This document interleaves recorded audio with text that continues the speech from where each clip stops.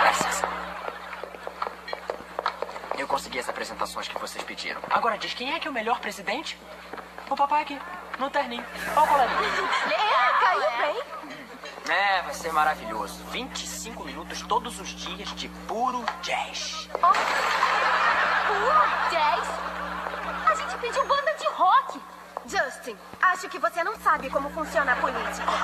Eu elegi você, você faz o que eu digo. Isso deve estar aí no livro que você carrega.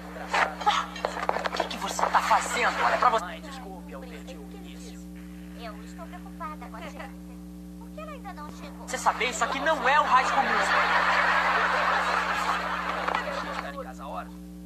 Mas estou com dificuldade de Uma atualmente.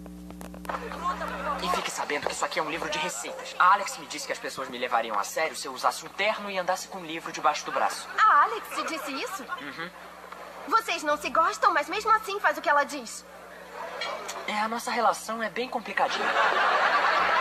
Justin, como pode trocar as apresentações de Shakespeare por isso? Hoje só ia ter tragédias. Como eu ia saber que a maior tragédia de todas ia acontecer antes mesmo de eu pisar no palco? Tudo bem.